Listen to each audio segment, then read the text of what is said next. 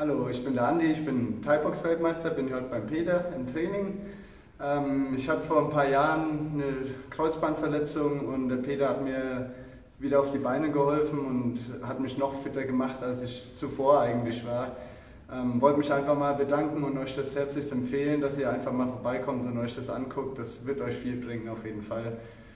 Danke und ich komme wieder und mache damit weiter beim Peter. Tschüss.